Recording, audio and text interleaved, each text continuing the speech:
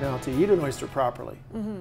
is also another little bit of a technique. I mean, there's many different ways of doing it, but the best I think is to slide it in out of the shell on its own. Don't use a fork or anything like that. First off, you make sure the oyster is nice and loose in the shell, mm-hmm. and then you slide it in two bites. 2 mm-hmm. Why two?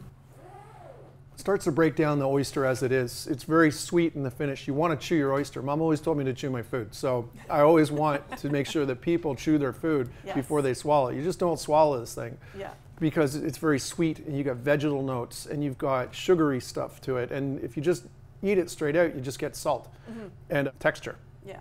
You want to chew through that and get that flavor. And then I aerate as well. So like sommeliers would tell you to taste your wine by aerating, breathing in oxygen through the mouth. You do the same thing with oyster, and that allows the oyster to develop the flavor across your palate. Mm-hmm. We're lucky in North America, we have five different species of oysters to, to use yeah. and to taste. Each one has its own flavor range. So, mm-hmm. East Coast oysters are salty sweet, West Coast oysters have ocean sea salt, sweet cream, melon, and cucumber so they can get very complex. So that's why when I'm telling people to enjoy oysters, to, to do it without any lemon, without any sauce, is just mm-hmm. to sort of first one or two just to balance your palate and to really taste the flavor of the ocean that's been provided by Mother Nature. What is a fresh oyster supposed to look like? Well, fresh oysters should be uh, a, a, good oyster when you're buying it. You want to get the oysters and bring them together.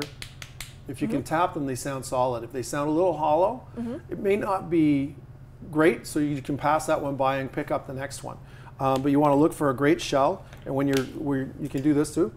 You mm-hmm. just give it a smell. It should smell like wet stone, light seawater, maybe some seaweed, but mm. all happy oceany smells. If it smells of sulfur or of rotten eggs or fermented leaves, then mm-hmm. it's a little, it's past. So again, don't use that one. Mm-hmm. Uh, the nose knows everything. You can really tell uh, the, the quality of the oyster just by smelling it.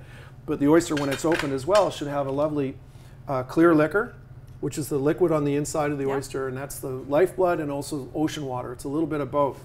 Uh, and that gives it its flavors and the subtle flavors. But the, the oyster itself should be a nice, even sort of 50 shades of beige color. It's there's all types of beiges in there, and it gives it that uh, even color. It should also match the shell. The shell is a light white, mm-hmm. so if it was a darker shell, like sometimes they can go into purples and dark greens. Yeah. That could reflect in the actual oyster meat itself, and that's a it's okay if you think you see something that's a little darker that shouldn't be. Mm-hmm. If it matches the shell, you're doing okay. Okay.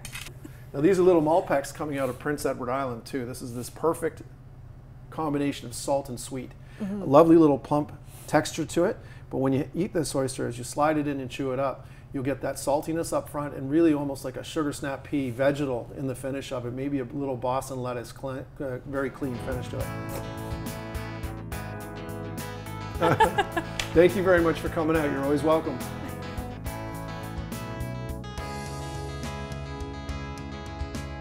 I said if you do this this way and you have the oyster with no sauce, no lemon on it, the reward is a little whiskey.